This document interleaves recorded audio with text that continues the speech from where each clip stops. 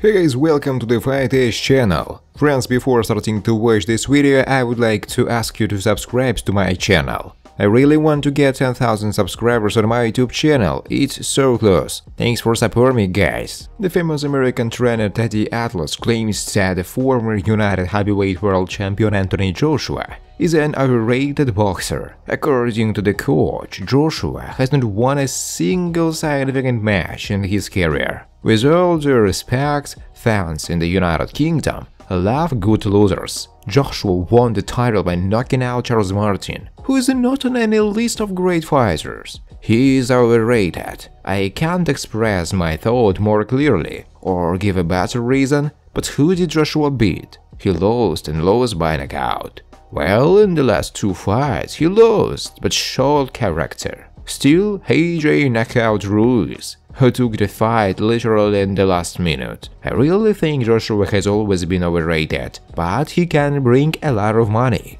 Atlas said. The WBC World Heavyweight Champion Britain Tyson Fury shared his opinion about the potential fight with compatriot Anthony Joshua. To be honest, when two heavyweights enter the ring, anything can happen, and at any moment. However, I've always said what happens when I fight Joshua. He shuts out of the game. Here is what I will say. The fight will last 6 or 7 rounds, but it's not yet a fact that he will last so long. Fury said. American trainer Teddy Atlas shared his opinion on a possible fight between the British, the WBC World Heavyweight Champion Tyson Fury and Anthony Joshua. Atlas believes that AJ will suffer another defeat and will most likely be knocked out. I think Fury can stop Joshua. I like AJ. He's a talented boxer and he's had a good comeback. I like it all. I'm not going to say that he has a fragile chin, but I want to say that Fury has a stronger chin. Joshua found himself in a dark place when he was knocked by Ruiz, after which he returned to the lighted room. He sees the light even after two defeats, but after the fight with Fury, an eclipse may come again. Where does his confidence go after that? said Atlas. I got bored in retirement, but it's been five months since my last fight, and I've changed my mind.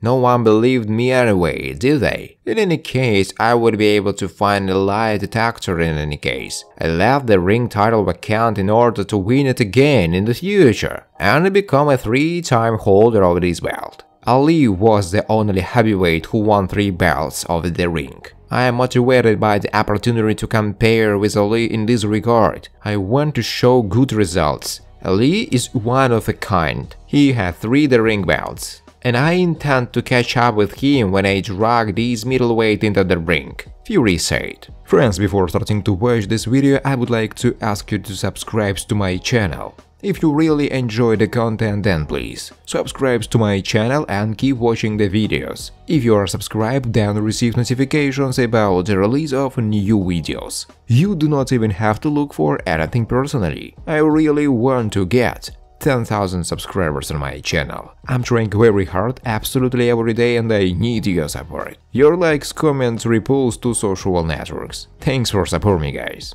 The president of the WBC, Mauricio Sulaimán, didn't rule out the possibility of a fight between WBC heavyweight champion Tyson Fury and former belt holder Anthony Joshua. Fury held a mandatory defense in April. Now he is free to make decisions himself and the WBC will approve all mandatory title defense fights in November. Fury vs Joshua is always interesting, especially for the United Kingdom. Tyson is without a doubt the best heavyweight of our time, and is in the prime of his life. At the moment, he doesn't have a mandatory duel. The WBC organized a mini tournament to determine the next contender. In the first stage, Andy Ruiz defeated Luis Ortiz. Next month, he will face the winner of the fight between Deontay Wilder and Robert Helenius, and Fury will enter the ring with a true fan of this fight. The WBC approved these two fights, Sulaimán said. Thanks for watching guys, if you like this video please